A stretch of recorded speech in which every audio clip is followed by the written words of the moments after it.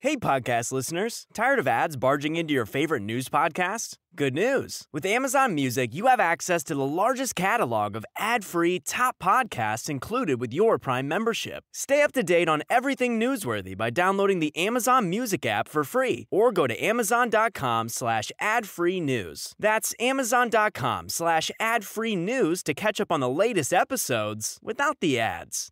The mighty and resilient Merrimack River carving through the communities of our great region.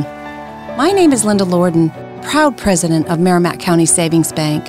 And like the river that serves as our namesake, we're a constant yet ever changing presence. Because to us, it's bigger than banking. It's about powering communities and putting people first. It's about knowing where you came from and where you're going. That's Merrimack style. Visit us at themerrimack.com.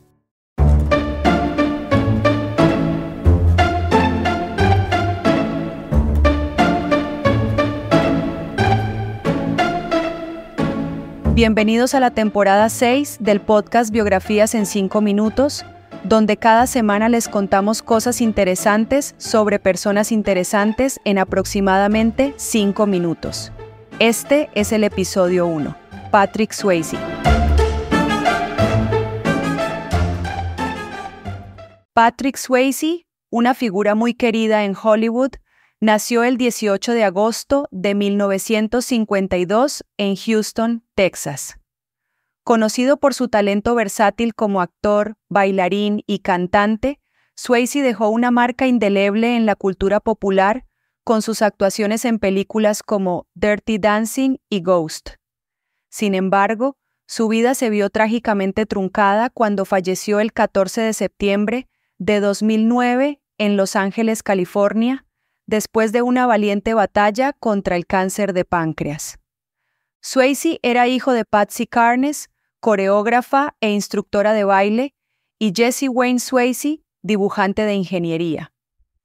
Su madre influyó significativamente en su vida temprana, inculcándole un profundo amor por las artes escénicas.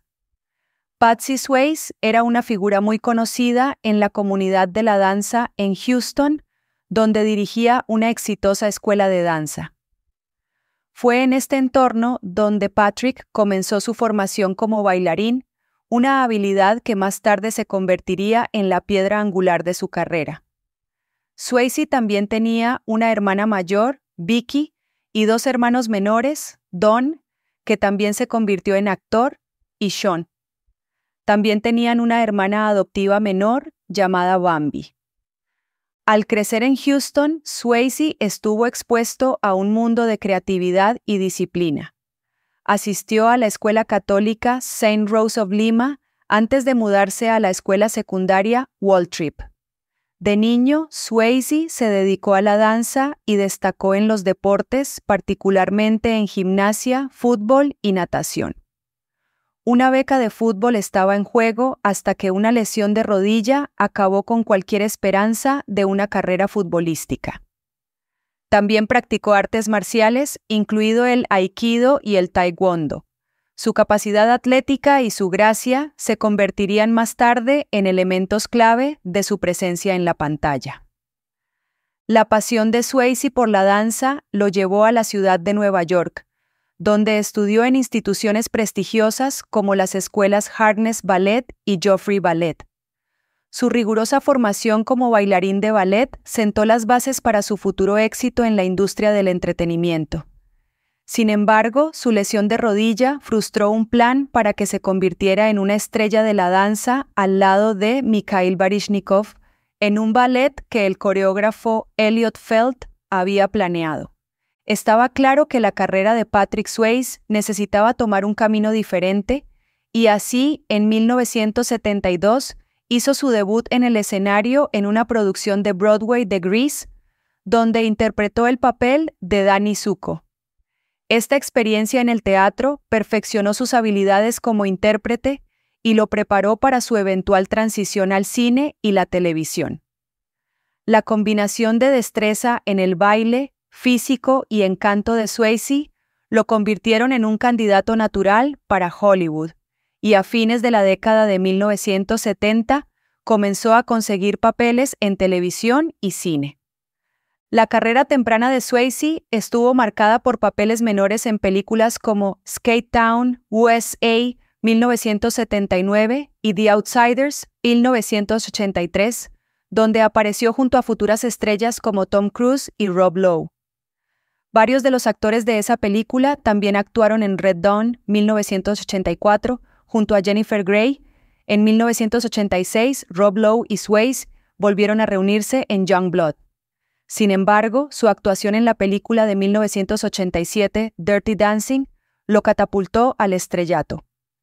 Interpretando el papel de Johnny Castle, un instructor de baile en un resort de verano, Swayze capturó los corazones de la audiencia con su ardiente buena apariencia, impresionantes movimientos de baile y una innegable química con su coprotagonista Jennifer Grey.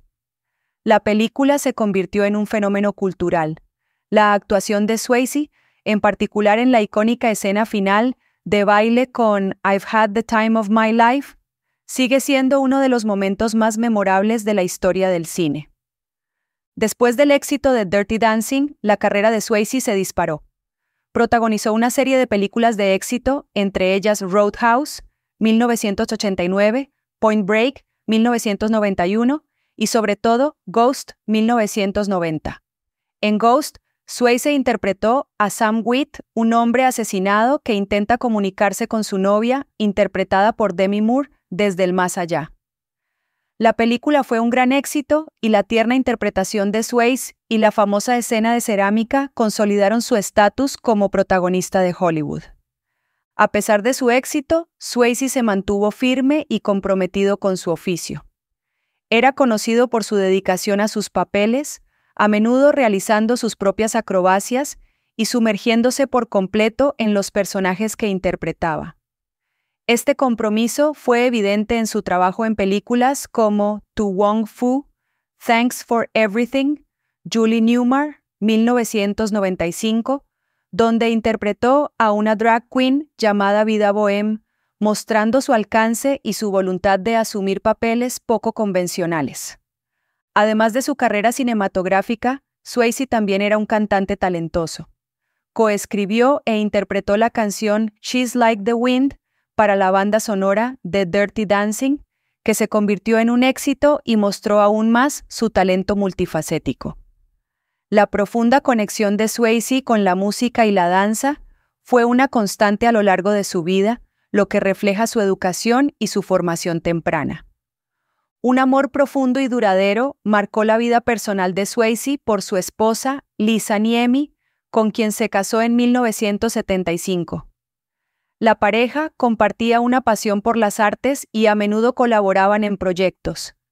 Eran conocidos por su fuerte vínculo y Swayze solía hablar de Lisa como su apoyo e inspiración.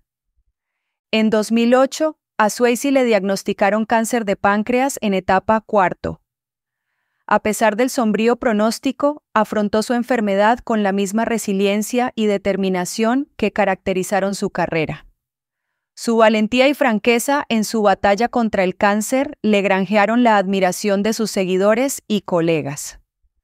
Patrick Swayze falleció el 14 de septiembre de 2009 a los 57 años, dejando atrás un legado de actuaciones icónicas y un impacto duradero en la industria del entretenimiento.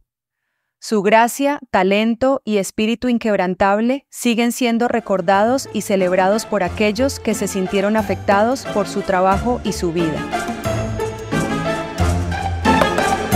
Espero que hayas disfrutado de este episodio del podcast 5 Minutos Biografías. Si fue así, ¿por qué no te suscribes para no perderte ningún episodio futuro? Y si tienes la oportunidad, déjanos una reseña donde quiera que obtengas tus podcasts. Gracias por escuchar y nos vemos la próxima vez.